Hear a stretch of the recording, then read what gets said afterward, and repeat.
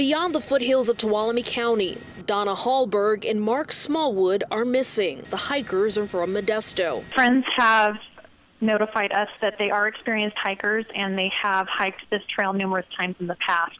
So they are not sure what could have happened this time. They left Sunday and were supposed to return Tuesday. They never came home. Hallberg and Smallwood started the three-day hike at Crabtree Trailhead and were expected to hit Lake Jim and the Long Deer Lakes near Dodge Ridge. This is a picture of Donna's blue backpack and a picture of Mark's dog Lulu, who went with them. Investigators say this is a mixed terrain that could have areas of snow. The pair packed for inclement weather but only brought enough food for three days.